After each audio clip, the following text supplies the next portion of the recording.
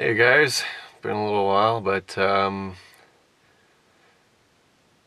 yeah, figured I should get some stuff done. So um, I hear in the comments, you can tell, um, she needs a good cleaning. So it's not difficult to do cleaning. So I'm gonna clean her up. Like it's pretty grungy inside. Like it's got just like coffee stains and stuff all over the center console and all the vents are just covered in crap so I'm gonna clean her up make her real nice. So first I'll show you guys what it looks like. It's pretty bad.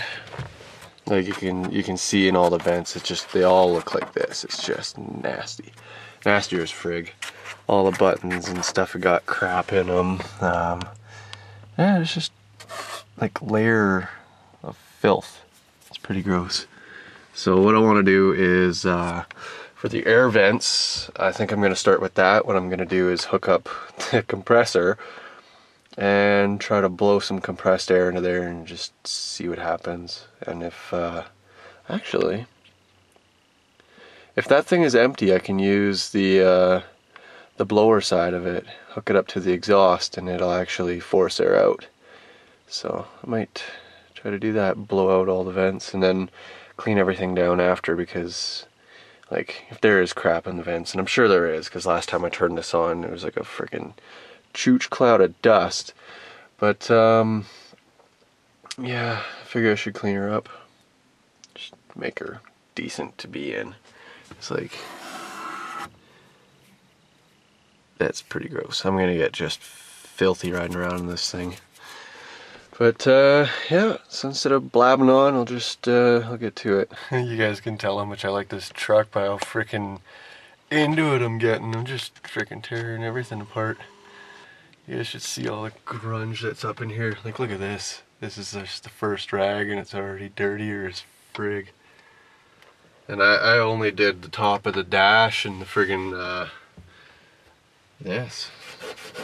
There's, it's like mud. pretty gross. Yeah, I'm keeping keeping going, so like the vents they don't actually look too bad. I might just give them a good wipe out and see if I can blast it out with the truck on. So this uh show you guys. This thing's gotta go. I need uh find something else because yeah not uh, not into that. Need to find a decent uh, head unit. Oh, found another really nasty thing. So far, like all the freaking controls and stuff around the uh, the cluster are just disgusting. Like, this thing's got so much freaking grunge on it. It's I don't even know how to explain it. It's just nasty. So remove it if I can. I don't want to screw with vacuum lines. But, uh, okay, well I can't remove it, but I'll zoom in and show you guys. Like, that's gross. And on the top there, like that is, that is just nasty. Freaking give her a little wipe, just, just so you guys can see. That's what it's supposed to look like. Oh, like this just caked on it. Yeah. So anyways, yeah, the whole truck is pretty much covered in that kind of stuff. So the screw's somewhere safe for now. And I feel like I should be wearing gloves because my fingers are freaking getting sticky. it's just, they're like sticking together. It's just, yeah, I might put on some gloves. anyways, I'll continue cleaning. Done a ton of friggin' cleaning. It's looking a lot better now. Give you guys a little bit of a show. So I did not get inside the uh, the cluster, but uh, everything, the freaking vents, they're all cleaned out. That was a freaking pain in the butt. These vents pop out and then you can take them in half. Um, this outer shell separates from the fins. There, it's I should have shown you guys when I had it apart, but uh, you know I still have two two more to do, so uh, I could show you guys on that one, but uh, I think what I'm going to need to do is actually take these vents, take them all out again, and that blue glove really makes everything dark around it. So anyways, um, I'll probably have to take these out, take them apart, and soak them in like water and cleaner or something. And um, yeah, I had the Cummins going, I had it running because it's getting a little bit nippy out here. So I had it just about up to temperature. And then uh, I friggin' I was using that little guy down there to uh, hold the RPMs at 1500. I had it at that for maybe 15 to 20 minutes and then when I went back to idle it uh, kind of sounded like I had a bit of a miss um, start it up and see if it might do it again but it kind of alarmed me I don't uh, want to have to deal with any kind of issues with this motor Frick. yeah, she's already warmed up so that's why the freaking light turned off. Okay.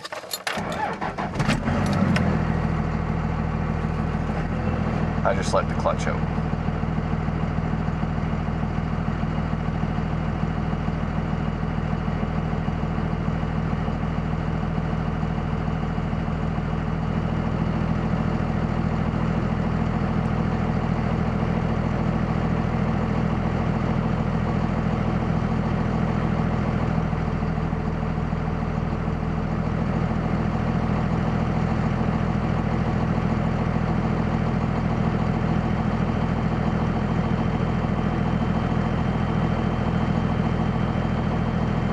I don't know, it's not doing it now.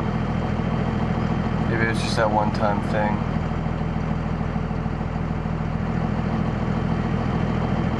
In either case, that's good. And if you guys are wondering about the, the jumping tach, I've seen that on a lot of these trucks, so I'm not worried about that. Um,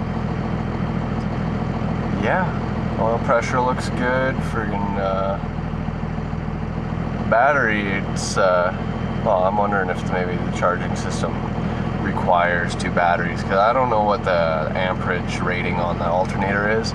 But um, I've only got the one battery in there, so that might be a little bit of an issue. It might need, might be like trying to overcharge the battery. But uh, you'll notice it keeps fluctuating. Uh, not, I don't think that's an issue. Uh, and then we got my gauges, boost gauge. I have yet to make that one move, but uh, I haven't really driven it yet. And then uh, that guy, I think the hottest I've ever had it would be 500 so far. But again, I've not, uh, not really driven it. The farthest I've gone is just up the block and then back down to turn it around. But uh, yeah, that's it. Yeah, 420,352 kilometers on it. But uh, yeah, I'm gonna take a little break cleaning, go inside, and uh, I might actually grab these these vents, freaking take them inside and get them soaking. It's a little bit too cold for a bucket of water out here and freeze. so anyways, Cummins, love that kind. I love hearing the turbo wind down. Okay, so I got one of these vents out. I forgot how to show you guys how to take these out. Um, I take them out with the bezel off. Holy finger. Um, but you'll see they got little uh, clips there and on the bezel piece they've got uh, a pin on either side which these will snap into. They're just uh, springy clips. You'll see that they open up if I can. So they'll snap into place like that. So to get them off, I like to go in behind them and just give them a light, uh, bit of light pressure. Voila. And then uh, to take them apart, uh, you could either jam something in those little dots, or what I've done is I just press down on this inner clip, this inner piece, and uh, separate it like that. And then you can soak each piece or get in the, the tight spots that you can't if it was together. So that's how to take one of these out and take one of them apart. Well, I've discovered these vents are totally different for removing. They've got a centerpiece and a locking mechanism on them. So, oops, sorry, out of frame. So I'll get that guy out for you and uh, show you how I did it. I started off with a freaking screwdriver, just gently go in between it, move it to one side, pop it out, and then pull the opposite way and it should pop right out. So no damage to the dash and uh, yeah, vents out. So friggin' right, so give those guys a wipe while I'm got this out. So take these guys inside and get them cleaned up. Well, look at all the dash, uh, the vent pieces soaking in a bucket of, well, it's still hot. That's amazing. It's been in here for like an hour.